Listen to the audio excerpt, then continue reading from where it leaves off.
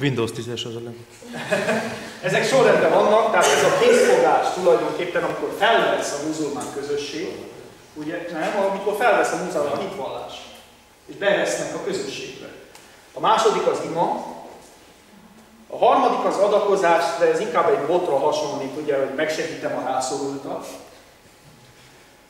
A bőjt az a Ramadán hónapban történik, és a mekkai zarándokat, ezt nem igazán értettem, hogy miért egy doboz van, de gondolom, hogy elmennek a podgyászal, hisz ezen a, a zarándoklaton nem lehet akármit magukkal vinni, szigorú szabályai vannak a zarándoklatnak. Milyen öltözetbe öltöznek, hogyan utaznak, hogyan, mit, mit esznek, tehát az étkezési szabályok, tisztálkodási szabályok. De ez nem inkább a kőnek, a, magának a kőnek? A... Hát jó, ez egy doboz, de maga a kő, igen, a kába kő, csak én mondtam, hogy dobozba beteszik a kis podgyászokat, a kába kő, így van, a kába kő. Kába doboz. A, a, igen, nincs piros, jó. Tulajdonképpen itt van egy hatodik pillér, amivel gondunk van ma, a dzsihád. Ez a kemény. A dzsihád a szent háborút jelent, de ez még nem egyértelmű, hogy itt kimondottan hadakozásról van szó, mert amit az Esperes úr olvasott, az sem azt jelenti, hogy ott aztán be kell öltözni és egymásnak rohanni, mert az egy lelki hadakozásról szól, és egy lelki felvértezésről szól. Ugyanígy a különböző iskolák a Korán alapján különböző tanítók, régi tanítók azt mondották, hogy ez egy ilyen lelki harc, egy erkölcsi harc. Az élet példamutatása által, a viselkedés által, a szóbeli meggyőzés által történő szent harc azért, hogy muzulmáná váljon a nem muzulmán is, de még messze sincs arról szó, hogy valakit fegyverrel le kell győzni. Vannak olyan súrák a Koránban, a részek, ahol viszont arról van szó, hogy igenis fegyverrel kell harcolni. Hogy a dzsihád miért lett központi kérdés, ez majd a radikalizmusnál, ez csak a 20. századnak a sajátos szerzeménye. Azelőtt nem volt ilyen központi kérdés. Bár vannak időszakok, főleg a hódítások idején, amikor központi kérdés volt a Szent Háború.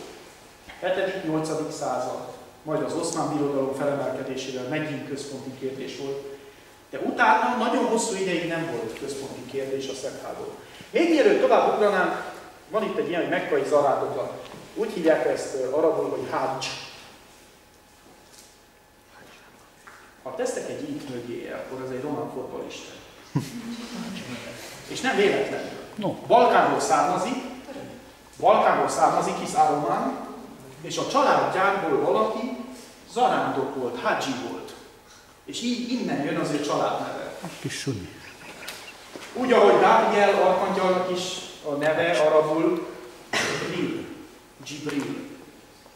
És Sisi. van egy ilyen foci is, ugye? Az olimpik Marseille-ban játszott egy időben, aztán mindenfelé eladták, mindig összetörte a lábát, Gibril Sisi.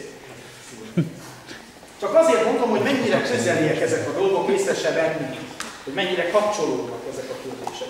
És akkor nézzük meg, eljutunk a lényeghez. Az, amit már nem iszlámnak hívnak a 20. században, hanem iszlamizmusnak. Ez a radikális, fanatikus szárnya muzulmán közösségnek. Iszlamizmus. Ez már nem az iszlám vallás, hanem az iszlám vallásnak egy olyan, és a Koránnak egy olyan értelmezése, ami fanatizmusba, harcba, háborúba taszítja az embereket. Mielőtt ebben, ennek neki, erről beszélgetnénk, elmesélek egy történetet nektek. Van nekem egy marokkói barátom, Youssef, és Youssef előszeretettel sörözött abban a kiskocsmában, ahol én diákként dolgozgattam, éppen pultos voltam. Megitta az első sörét egy euróért, és második sörre nem volt már pénze. Mindig kapott tőlem még egy sört, és közben beszélgettünk. Ezt már én fizettem a második sört. És a beszélgetés mindig, főleg két sör után, három sör után, ő ivott, én nem ihattam, hisz pultos voltam, arra a pontra, amikor elmondta nagy bánatosan, hogy a kereszt, az európai kultúra, nem kereszténységről beszélt, európai kultúráról, az rossz, őt nem fogadják be, el kell pusztítani. Feleségemmel mindig nevettünk azon, hogy lehet, hogy egyik nap drága jobb barátomat, Jusszefet, aki amúgy kémikus, és békés ember azóta a Németországban postásként dolgozik. Lehet, hogy majd a CNN-en fogjuk látni az ő fényképét egy ilyen felirattal, hogy Breaking News, valami ég a háttérben, és ő valamit tett. Tipikusan az az ember, aki nem találja a helyét Európában, de itt él. Tanulni jött, soha nem fejezte be tanulmányait, inkább bánatában sörözgetett a kiskocsmában. Mindig, amikor megkínáltuk, mindig mondta, hogy disznóhús ne adjunk neki. És mondtuk, hogy nem lesz disznóhús. És egyszer a feleségem megkérdezte, hogy te Jusszef, miért félsz te a disznóst? Azt mondja, úgy fájik nekem tőle a kis agyam. És, és ő nem eszik ilyesmit, az nem egészséges. Tehát így tanulta otthon, hisz disznóhúst a muzulmánok nem fogyasztanak, az tisztátalan állat. Honnan De hát az izraeli Honnan tudja, hogy fáj nem evett soha? Nem tudom, hogy honnan tudta, de megkérdezte tőle, és akkor a feleségem megkérdezte tőle, hogy József, amikor sört iszol, mert az se szabad neki alkoholt fogyasztani, akkor nem fáj a feje? Azt mondja, nem, másnap fáj, amikor a harmadik is megittam, de Gábor a hívás, ő adja a második. Ennyit az ő hozzáállásukról Európához képest, és a hozzáállásukról a saját hitükhöz képest. Na most, ezek az emberek nem vallásos emberek, akik radikalizálódnak. Itt élnek Európában. Második, harmadik, ki tudja hányadik generáció óta, de nem találják a helyzetet.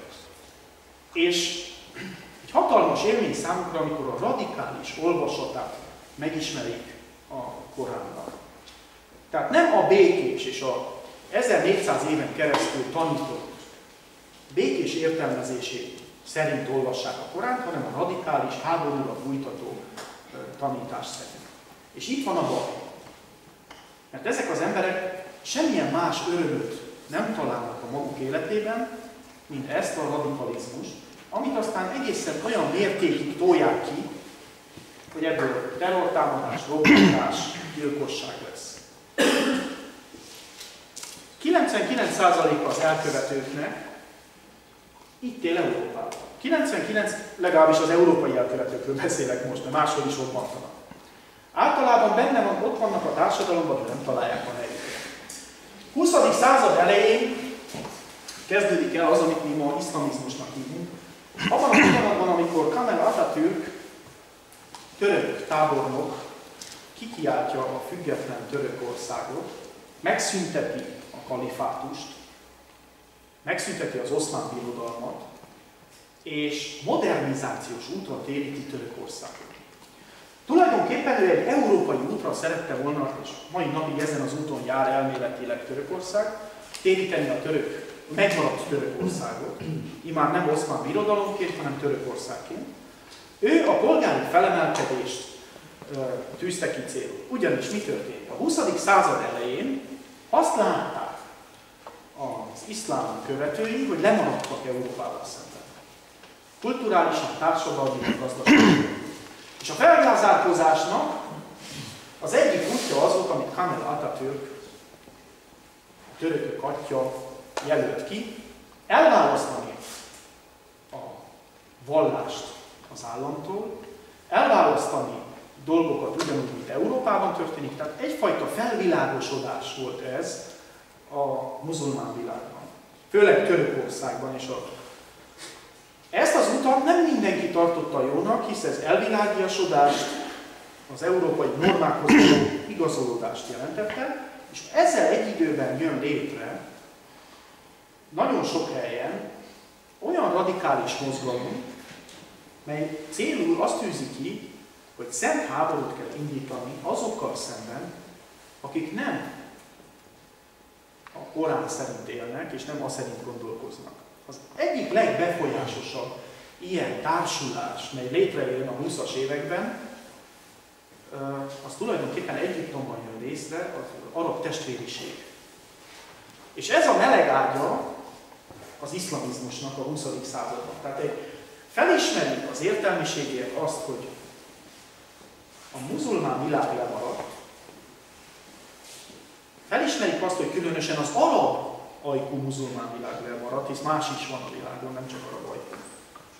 És fel szeretnének zárkozni. Na most a felzárkozásnak van egy polgári útja, amit Törökország választ, És van egy radikális, háborút hirdető, dzsihádot, szent háborút hirdető útja, ami az iszlamizmusba csapál. Tulajdonképpen ez az iszlamizmus eleinte csak ilyen kis föld alatti mozgalom, hisz nem igazán van hatalmú. A 60-as, 70-es években lesz igazán súlya a fundamentalizmusnak, akkor, amikor a palesztin háborúk és a palesztin felkelők szerte szét szóródnak tulajdonképpen az arab világban, és mindenütt elmesélik a maguk nyomorúságát. És az ezen jogosan felháborodó, elkeseredett, hittársai tulajdonképpen elkezdenek radikalizálódni. A radikalizációnak a második hulláma pedig az már 90-es és 2000-es évekhez kötődik, amikor ehhez a tanításhoz kapcsolódnak olyan nyugat-európai fiatalok, akik lehet, hogy már arabul nem is beszélnek. Hát ez az alapnyelv. De politikai gondolatot, politikai eszmét látnak az iszlamizmusban, és Párizs külvárosában, mondjuk Paris Saint-Germainben, vagy éppen Berlinben, vagy Amsterdamban, Rotterdamban, legújabban halljuk, hogy Brüsszelben, ahol komoly, egész város negyedeket kitevő muzulmán közösségek élnek, elkezdik ezt a radikális olvasatát hirdetni a Koránnak, mint magyarázatot. És ezek a radikális fiatalok mindig akkor háborodnak fel, és akkor következik be egy terrormenélet, amikor az általuk megutált, jól ismert nyugat, nyugati nagyhatalmak valamelyik arab vagy muzulmán államba beavatkoznak katonailag. És ők úgy érzik, hogy jogok feljogosultak a bosszúba. Tehát amikor az amerikaiak valahol Kelet-Afrikát bombázzák, hogy a polgárháborúban valamiféle rendet létrehozzanak, vagy éppen beavatkoznak Líbiába, beavatkoznak Szíriába, vagy éppen beavatkoznak Irakba, Afganisztánba, akkor mindig terrorbelénetek következnek is különböző hullámok. Az iszlamizmus nem vallás. És nagyon sok iszlám szakértő ma már azt mondja, hogy semmi köze nincs az iszlámhoz. Hanem ez egy politikai kategória. Politikai céljai vannak. A világhatalom megszerzése, a pán ö, iszlám terjesztése, azaz, eljutni minden területre, és mindenütt az iszlámot tenni uralkodóvá. Ugyanakkor a sária, az iszlám jog bevezetése az államokban egy nagyon szigorú jogról van szó, nem az európai vagy a római jogrendre alapuló jogról van szó, hanem egy olyan jogrendről van szó, mely a Koránból származ, származtatják le jogtudósok. Tulajdonképpen mára már elavult a modern társadalmak szervezésére. És akkor itt van az egyik legérdekesebb dolog, a vahabizmus, és itt van Nyugat-Európának a kettőssége és a bűne ebben a kérdésben. Szaud-Arábiának az alap vallása, alap tanítása egy olyan iszlám értelmezés, amit egy tanító, Wahab nevű tanító alapján tanítanak, radikálisan, szélsőségesen értelmezik a Koránt, és ez államvallás. Mégpedig azért államvallás, mert a Szaud-Arábia tulajdonképpen az, az angol, illetve francia protektorátus után úgy jöhetett részre, hogy kellett egy alapideológia. És a helyi sejtek egy radikális tanítónak a tanításához nyúltak vissza. Ma ez államvallás. Szaud-Arábia dúsgazdag a kőolaj miatt. És ezt az államvallást exportálja pénzzel, felszereléssel.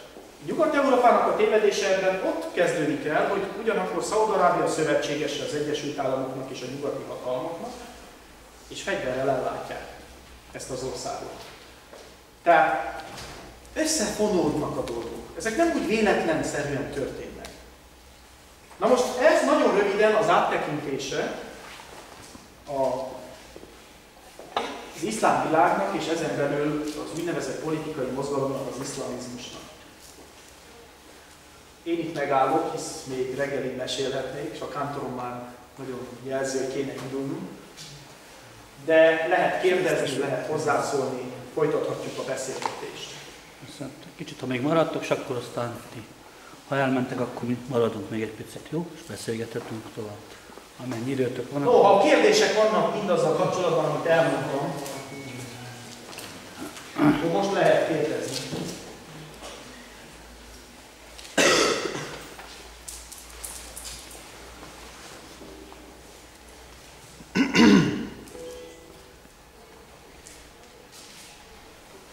Bonyolult világ, színes világ, sokrétű világ, ez az iszlám világ.